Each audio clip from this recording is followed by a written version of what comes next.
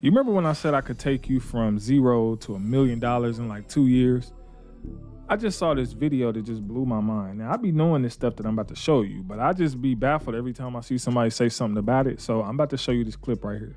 These are my, my credit card books. This is my main stack. I have easily over 50 cards in this stack right here. And then this is my side stack. And how many different banks uh, hold those credit cards? 20 probably. I went from zero business credit to over a half a million dollars in business credit in, in just over a year. I had no idea about business credit. And specifically what blew my mind about business credit is one, you can get access to hundreds of thousands of dollars, but then you can get access to these accounts that don't report to your personal credit profile. So if you get a personal credit card, you max that card out, it's going to absolutely wreck your score. But if you get like a 50 to 100K business credit account, you can max that card out, use that money to start your business or scale your business, and it keeps your personal credit score unaffected.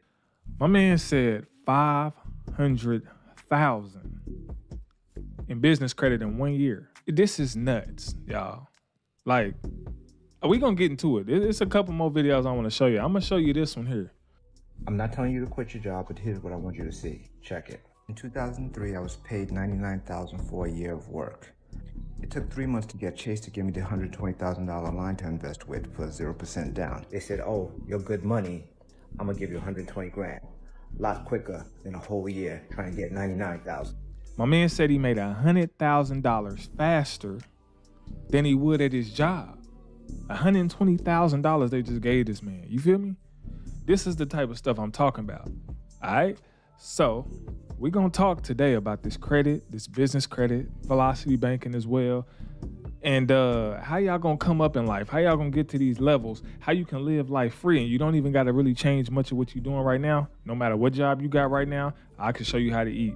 Don't even matter if you're making five dollars an hour, I can still show you how to get there six and seven figures with ease, baby. For those of you who want to start from scratch and really get to that next level, I did just come out with a credit guide. All right. You don't gotta buy this. Anything in this video you can take home for free. But for those of you who want to go to the next level, listen, this guide is going over everything from the very beginning all the way through your LLCs, all the way through everything you need to build this business credit the right way, all the way to how to do everything. You know what I'm saying? It's gonna be cold and it ain't gonna cost you that much. You know what I'm saying? But I promise you, it's gonna be a blessing to you. But this video about to be a blessing to you right now for free. So let's do this right now. Let's go. Yo, do you see what I see on the screen? First and foremost, this ain't a business credit card right here, but this right here, 0% interest for 21 months, bro. That's two years, bro. Stop playing.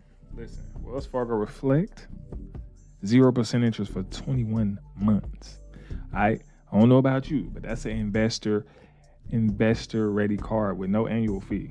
All right, so y'all look into this card right here. This on the personal now. I highly recommend doing business on the business side of things so it don't show up on your personal. But if you're not trying to buy a house right now, you're not trying to buy like a bunch of stuff that you need your credit, then cool, use your personal. You know what I'm saying?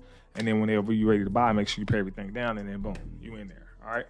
But that was just a that was just a sidebar. All right. Now, if you need a business uh checking account that's online, all right, you got Brex. Brex is fire, right? You ain't got to worry about all the extra stuff. People checking your credit saying you can't get approved for certain stuff. You know what I'm saying? Uh, this one's really good. You know, uh, as far as like an online bank account. All right. Now, PenFed is a great credit union. Look into that. All right. Now, I'm gonna keep moving right along. Now, Bluevine. Bluevine is a fire, and I do mean they give you a business line of credit. Hey, you get up to two hundred and fifty thousand line of credit, right? Straight like a checking account. You know what I'm saying? And so they do got some requirements. All right. So if you ain't got that bag yet, just get excited because you're gonna have that bag. You messing with J Cash, you're gonna have that bag. I'm trying to tell y'all know I'm put you on game. Do what you need. At least 12 months in business. Y'all, y'all, y'all might want to go ahead and get the, you know, the the credit course below. Cause I'm telling you, I'll go over this how to get you 12 months if you ain't got 12 months. You know what I'm saying? We got the loopholes. All right. Corporation or LLC, no bankruptcies in the past three years, and good standing with the Secretary of State. Of course, you know what I'm saying? And then, of course, you need at least $10,000 a month in monthly revenue. Now, it was 40000 right? They just dropped it recently. That's good because at first it was 40000 a month. But even people who wasn't making 40000 a month apply still get approved, right? So even if you ain't making 10000 a month, you can apply and still get approved, right? At least a 625 on your personal side. I always tell y'all if y'all want to get business credit, make sure your personal's intact. Personal guarantee everything. It just cuts out all the extra. You know what I'm saying? Having to apply for all the net 30s and all that.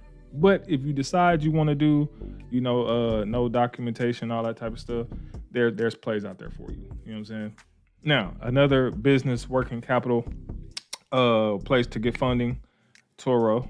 You get startup capital for your business, things like that. One thing is dope about them, no paperwork, no asset, no appraisal, no headaches. You feel me?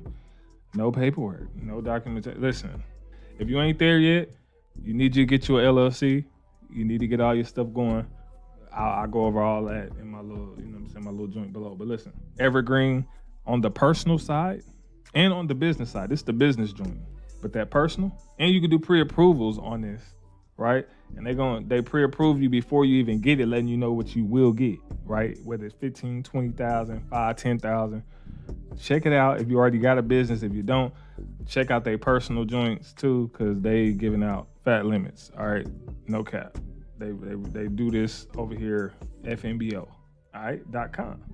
All right, another one to get some business funding. All right, literally. Let's let's go to the business funding. All right, you want some business funding up to 250k. VD Advance. Only thing I don't like about VD Advance is they uh their APR be a little high. They they they APR, their interest rates be a little high. But again, if you're doing something like real estate or something, and you know you want to draw from it, pay it back quickly, doing fix and flips or something like that, then you in the game. Okay. So you need a business checking account. Okay, six months in business. I'll show you how to get that if you ain't got six months. Uh, but if you need six months, I'll let your boy. Uh, five thousand a monthly bank revenue, at least a five hundred credit score. That ain't that. You know what I'm saying? All industries considered. They all industries lit, right? But another thing, um, like if, if for people who want to start building business credit, uh, you can any store that you go to. Look, Home Depot, they got business credit cards, and a lot of times these is like no documentation, uh, you know, type of qualifications. You know what I'm saying? And sometimes they don't even check your credit, right? No impact to your credit score. You just seen it. Uh, I know Office Depot has them as well. A lot of this stuff don't be it be like EIN only type stuff. Sometimes they might check your personal credit, but that's just to verify identity. Uh, so you can get approved for these again, and you just wanted to start reporting to your, you know, your Paydex, get your Paydex score up, stuff like that, right? So boom, Capital on Tap. Listen, Capital on Tap is another business credit card that basically just goes like off your bank statements and stuff like that. Uh, there's a lot of these as well. You know what I'm saying? So check this out. And then of course, Amazon got business credit cards easy. Again, a lot of these these don't have no personal guarantee to them. You know what I'm saying? Some of them do, some of them don't. But again, always make sure your personal is on deck because that's gonna make it way easier to get business credit. Of course, if you need another business bank account that's dope and they offer credit, uh, Mercury, right? And this is online. Like I said, these ones is easy to hop in. You know what I'm saying? And you can get you set up with a credit card and you can be set up just right. Right. But if you need to know how to do everything correctly, of course, get the bundle below. So this business credit thing is the dopest thing ever. The reason why is because you don't need a college degree for none of this credit stuff we talk about, right? You don't need to be the smartest person in the world. The only thing you got to do is apply and get this paper, right? Now, business credit, on the other hand, is not showing your personal. So that's why you want to move everything personal straight business, right? When you do it this way, your personal stays clean and pure, right? And then the business side is is holding, you know, the debt, so to speak, but it's not showing on your personal at all. So your personal credit score is never affected. All right. Now, check this out though. This is what I was telling y'all previous videos ago, right? Apple, the company Apple, holds two billion, I mean, two hundred billion dollars in cash in the bank and they still borrow money. One of the richest companies known to man, right? They got 200 billion in cash, but they're still borrowing money, 7 billion dollars worth. Why? Because leverage is always key. It's been key. And I've been trying to tell you if you want to come up, you got to learn how to leverage. This credit game is different, all right?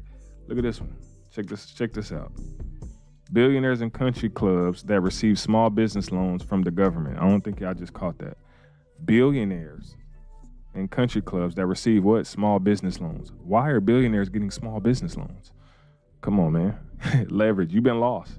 So if, if your parents and everybody been telling you stay away from credit, credit cards and loans, we only use credit, credit cards and loan to acquire assets, to build businesses. And other than that, that's it. Now, if we want to enjoy luxury things afterwards, then yeah, we do that. But that's the only reason why we use credit, uh, lines of credit and business loans, right? To acquire assets, to build wealth. That's it. You know what I'm saying? All right. So did you know that with your business credit, right, you can buy a business. Yeah, you can buy businesses. Let's say you and a cousin or a friend or y'all got y'all business credit together, y'all got y'all LLCs, y'all did y'all thing, right? And y'all want to go buy a business. Uh Biz Buy and Sell, highly recommend, right? And we got Loop, uh LoopNet for being able to buy businesses, right? And franchises. BizBen, ain't really heard too much about them. I know they've been around a long time, but I don't know how reputable they are. I know the other two are very reputable, but I'm only using this website because they actually give you cash flow numbers. All right. So for instance, they got this business right here, right? It's a uh, cocktail bar. All right. They're asking for I think 1.4 million. Yeah, the asking price is 1.4 million. The revenue on it is 3 million a year and it has a cash flow of 500,000. They want 300,000 down, right? The dopest thing about this is that all the employees and everything are already in place. The owner's just selling it. Everybody, this is still a fully running business that makes 500K. I mean, that makes 3 million a year and then 500K cash flow, right? So everything's in place. Only thing you have to do is buy it and then, you know, check in on it. Make sure everything is running properly, right? But let's say you and three friends, shout out to uh, Haitian CEO, I heard him say something like this uh, in a video uh, before. 10% down, let's say 300K down. So y'all each have $100,000 off y'all business credit cards, right? We don't want to do it on a personal because that's going to affect your credit score. Do it on a business, don't affect your credit score. 100,000 a piece, right? And it's already bringing in what? 500,000 cash flow, meaning money left over after everything is paid for. That's crazy. So that's about 500,000 a year is around like 41,000 a month forty thousand a month, somewhere in there, which would leave you all three of y'all with thirteen thousand a month apiece. So that means I paid a hundred thousand to be making thirteen thousand dollars a month, right? That's already a six-figure revenue out the gate. All right. Each one of y'all decide y'all want to go. Uh, check in on the business, check in on the managers, check in on this. You know what I'm saying? Do your research. Now I'm just giving you examples of what's out there, but there's a lot of different businesses out there that you can buy, right? So again, this is another business website. You can buy franchises, you can buy businesses, you can actually sell businesses, right? Why not already buy into the cash flow? Right? This one, cash required to, to be an owner in this business right here. And this business, how, how long has been around?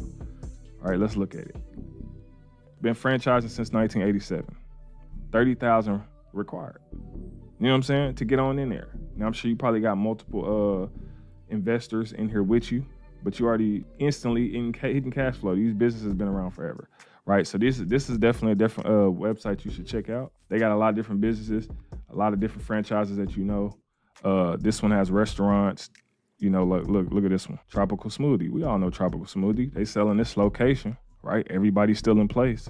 Business is still fully running for 2.9 million right? 10% down, you get again, you get three partners, two or three partners, business credit. Y'all go in there, y'all already cash flowing. They giving you the location, they giving you everything. Right. But they have a ton of different businesses that's way cheaper than these, of course. You know, I just went to the higher end, but they got some that's, you know, twenty thousand dollars, thirty thousand dollars, fourteen thousand dollars. You just gotta go in here and do your research if that's something you do. And they got, you know, multiple different industries and things like that. But this is what business credit can be used for. It can also be used to buy land, right? It could be used to buy land from a land bank. YouTube or Google Land Bank. You know what I'm saying? Uh, those are like land auctions as well and stuff like that. Uh, that you could buy super cheap land. So look, land bank properties for sale, foreclosed land for sale. You got all kinds of stuff.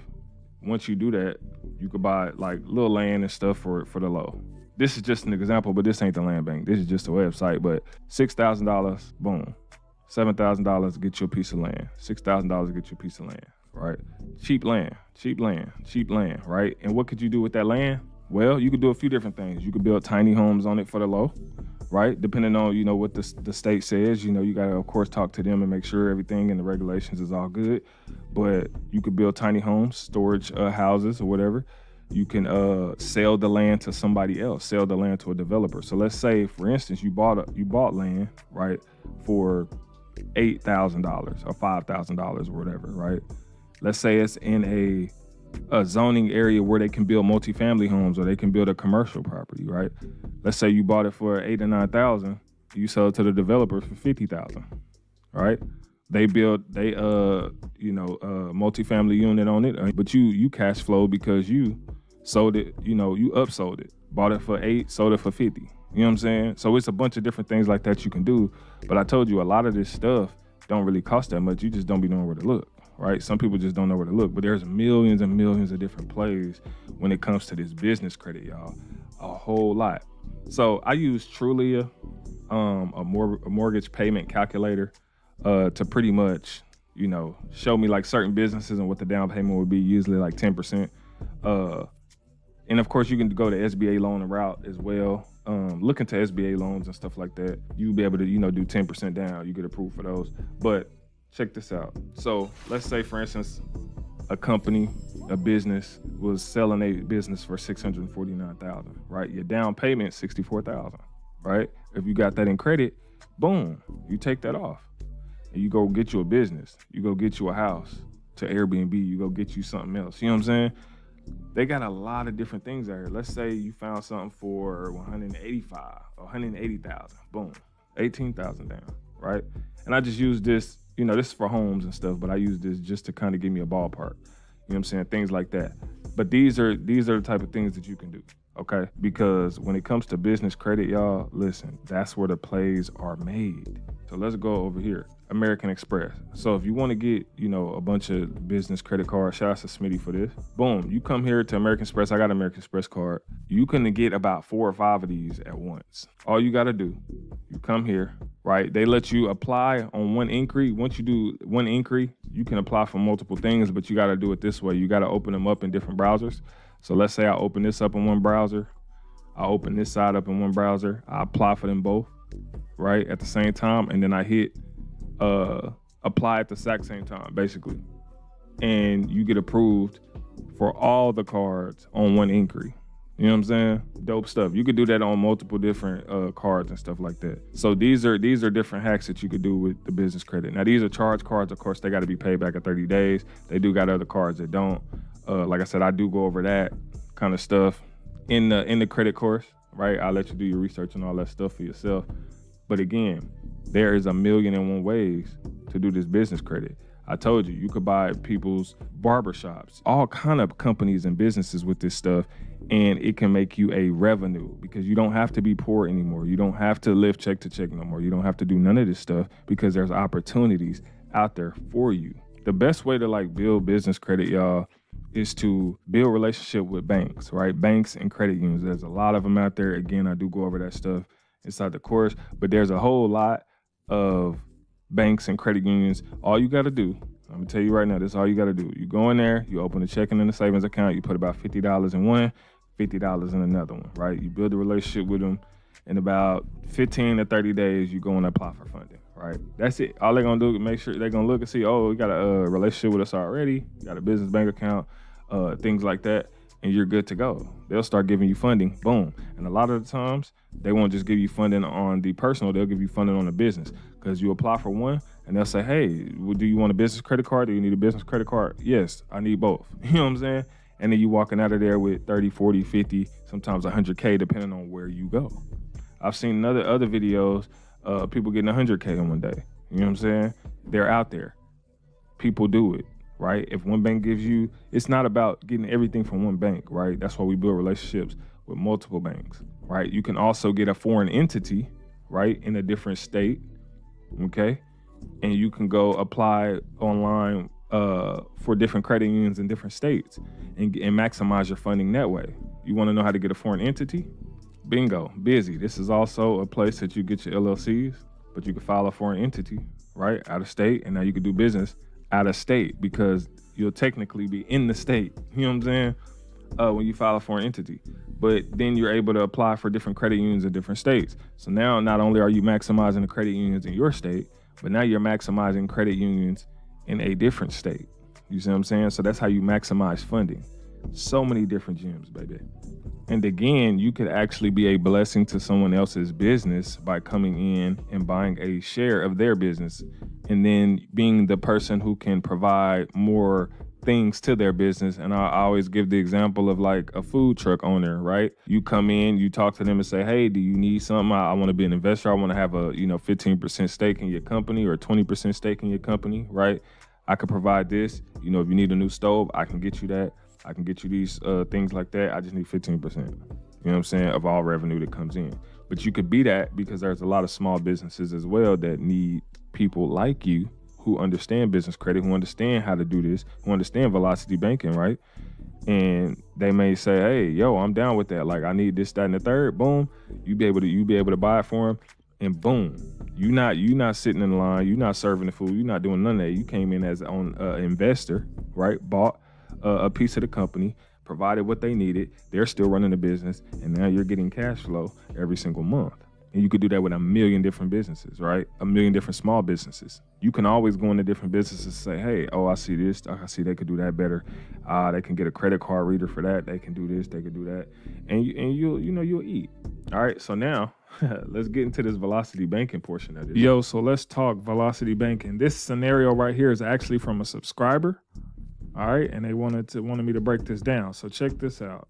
For those of you who don't know what velocity banking is, it's just the uh, method of paying down debt using lines of credit.